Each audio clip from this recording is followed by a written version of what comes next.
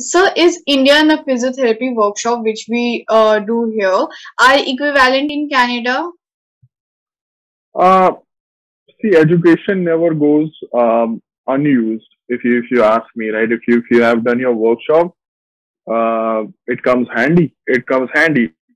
But there are some designated uh, techniques which are in every physiotherapy rooster. Like if you want to do acupuncture or dry needling, you have to do a course in Canada. You have to have to be certified in Canada. You have to get enrolled in your college of PT, which gives you license. Only then you can pursue that. Okay.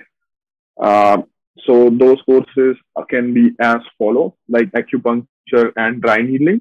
Uh, anything which requires invasive invasive techniques, right? Mm-hmm. Um, like in inter uh, like you know those uh, the pelvic electrodes like the inter uh, uh, like vaginal or anything like that those those things you have to yes pelvic floor and stuff so you have to yeah you have to do a course here right also spinal manipulation is uh, is a technique which you need to learn um, I'm not talking about spinal mobilization, but spinal manipulation. Those thrust techniques and stuff you have to do here.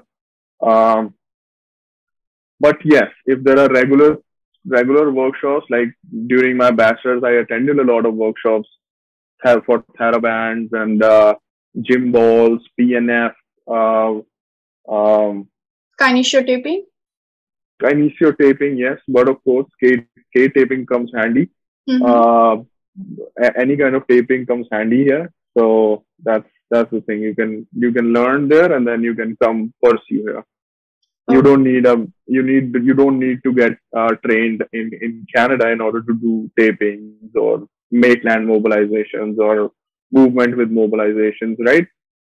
So then, uh, I will not go into that sector of movement with mobilization because uh, you know, and uh, there are things like you know if, if you do the technique from here uh, you can use it as your um, like you know the designation. You can you can use it like so functional mobility therapist or FCAMT or something something like that. If you want to put that as your designation then you have to do your do your course here